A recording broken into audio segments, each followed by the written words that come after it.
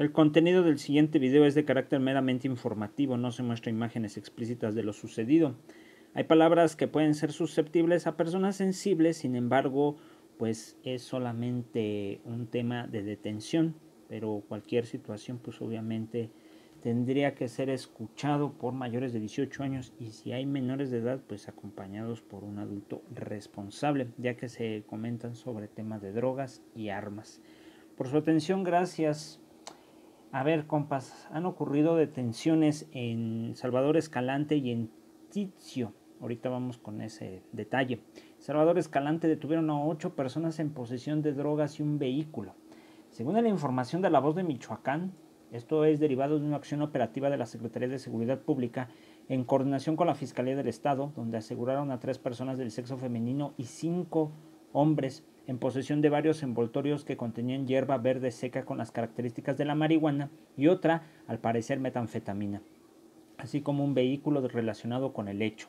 Como resultado de labores operativas en la demarcación, los llamados agentes de la Policía de Michoacán y de investigación ubicaron a los ahora detenidos a quienes tenían en su poder varios envoltorios con citadas drogas, así como una unidad de marca japonesa conocida. Una vez efectuadas las actuaciones correspondientes, los indiciados y lo asegurado fueron puestos a disposición de la autoridad competente a efecto de, realizar las diligencias respectivas. Por cierto, hoy se cumple cinco años de la masacre de Topo Chico, el penal de Topo Chico, allá en Nuevo León. Vámonos a Tizio. En la localidad de Tizio, en Michoacán, ahí me parece que no está tan... No, sí está algo lejano.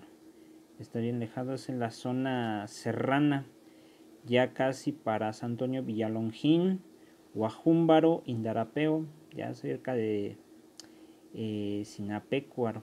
Fíjense nomás hasta dónde nos fuimos. Nos fuimos ya casi en la parte norte, en una zona serrana bastante complicada donde hallaron un narcocampamento. Los elementos de la llamada Guardia Nacional encontraron y, e inhabilitaron un narcolaboratorio en una zona boscosa y de difícil acceso, por eso les menciono.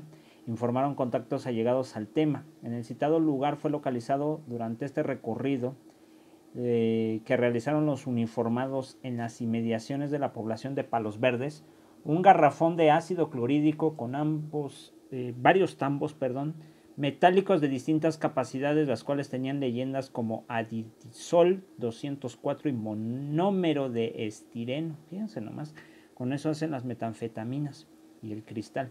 También estaban dos bultos con las e, etiquetas azufrán y sosa en escama. Asimismo fueron hallados dos contenedores de acero inoxidable, cinco cilindros de acero también inoxidable, tres bases de acero, seis secadoras y nueve quemadores industriales. La referida narcococina fue desmantelada y agentes, mejor dicho, integrantes de la llamada Guardia Nacional, reportaron a la autoridad competente para que emprenda las diligencias correspondientes. Bueno, dos importantes aseguramientos, pero apenas con ocho detenidos en el anterior, este sin detenidos. Me parece que este laboratorio podría ser del cártel Jalisco o de la familia Michoacán. Habría que corroborar esta información se encuentra ya en una zona de difícil acceso, cercano a la ciudad de Morelia. Sí, está muy cercano a la ciudad de Morelia. Wow, es una situación casi preocupante. Más que andan aquí grupos delictivos en esa zona. Puede ser familia Michoacán o Cartel Jalisco. Saludos, compas.